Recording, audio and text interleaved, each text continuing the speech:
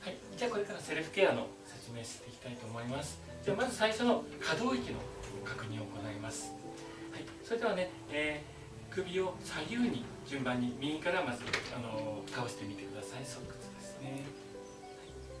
はい、はい、左側。この感じ覚えておいてくださいね。はい。結構です。今度は前後ですね。はい。前の方にする手を軽く添えてね。はい、はい、この感じですね。大丈夫ですか？はい、そうしましたらね両手、えー、ゆっくり上に上げてみてください、左右の上がり方の感じ自分でもちょっと覚えておいてくださいね。はい、じゃあ今度指先を肩に軽く振って肩をぐるっとこう回してね肩甲骨の動き。そうです。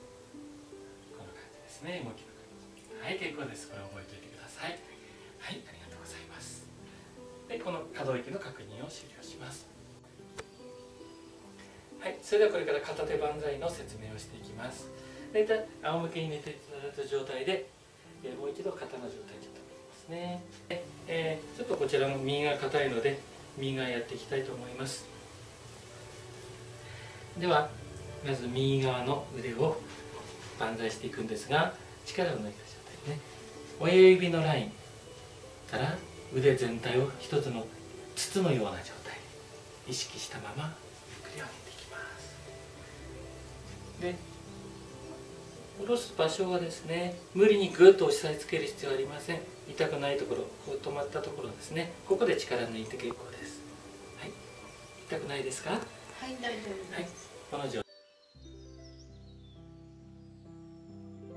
態です、はい、そうしましたらまずは抗筋ですので左手で頬を包み小指が耳たぶの裏側。親指がほうれい線のあたりですね。で指を少し軽く開いて全体を包むように軽く触れてください。はい結構です。さあこの状態で鼻から息を吸ってください。はい口からふー口から抜いて吐きます。はいもう一度吸って。吐いてふーはい結構です。呼吸2回繰り返します。次は後傾筋ですので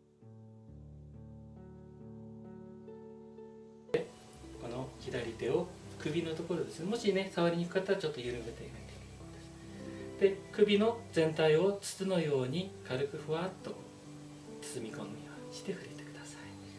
腕は無理のないところで。はい呼吸2回繰り返しましょう。息を吸って。はい吐いてはいもう一度吸って。はい吐いてはい結構です。次はこちら一度大胸筋ですね。胸の筋肉になります。腕を少し下ろして90度に曲げていくんですが上から戻すよりも腕を水平に移動していきます。手のひら必ず内側のまま親指下ですね。で大体90度くらいです。で左手は大胸筋にね。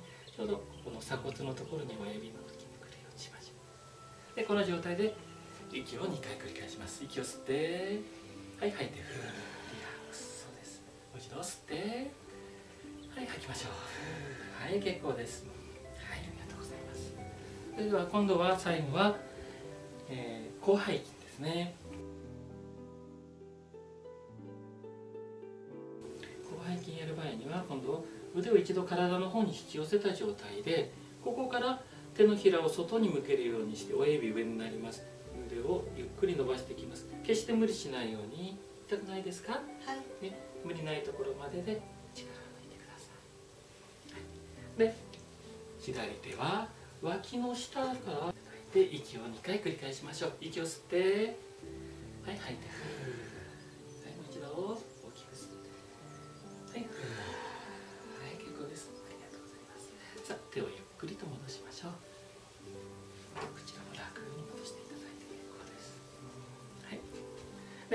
これで、えー、片手万歳終わりました。先ほど見た肩の筋肉肩のこり具合全然違います。こちらやっぱり右の方が柔らかくなっています。